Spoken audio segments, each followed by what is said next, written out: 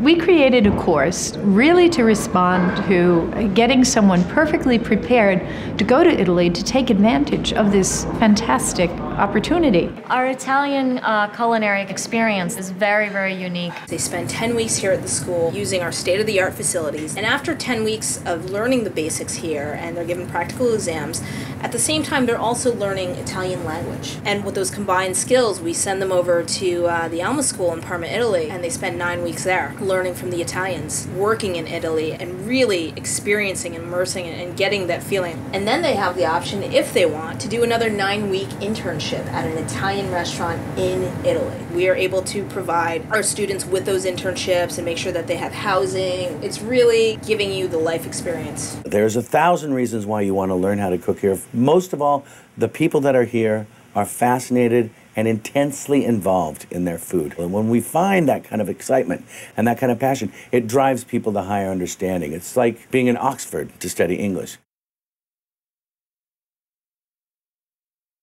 They have access to everything that the Italian Culinary Academy has to offer. You know, our library, our demonstrations, our student activities. In New York, we were in the kitchen from 9.30 to 3.30. Then we had language two to three times a week. The curriculum starts very easy, you know, introductory almost, with uh, antipasto and very simple things so that they get uh, to do taillage. You have to learn how to cut and slice properly.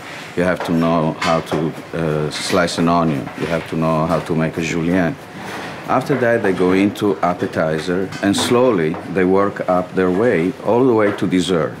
So we're talking about a very large range that includes all protein.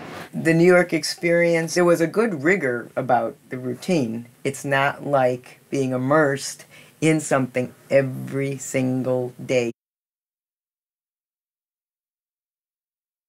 In New York, the professors were wonderful and we got great skills. But here, it's all about passion for this country for this culture, for this food. For many of them, this will probably be their first time to taste an Italian tomato or Italian green, the way that it's grown and it has been grown for so many centuries. We felt that without that component, it's very difficult for a student to understand truly the soul of Italian cuisine. There is an historian on staff that teaches them about the history of food and there is the reality itself, the outside world, which is full of art and full of uh, culture. We take three field trips. One in Tuscany, we go to a butcher and see him break down a piece of meat in about four minutes. We go and tour around Emilia Romagna, the region in which we're living, and we see the cheese and we see the, the culatello and we see the prosciutto. And then we go into Lombardia and we see a whole host of other things. Geography has a sense, has a meaning, has influence. Some regions are connected by a river, some other are secluded and isolated by a mountain. This explains why some regions tend to have some elements in common or rather strongly differ from one another. We have the best chef of each region coming to the school in Italy teaching their regional cuisine. We are the only school in America that has been able to uh, work with the government on visas to get you a stage in the top restaurants of Italy. No one is going to get you into, legally, into a restaurant in Italy to stage. When they are in Italy at the stage, they are in the professional kitchen with the professional chef.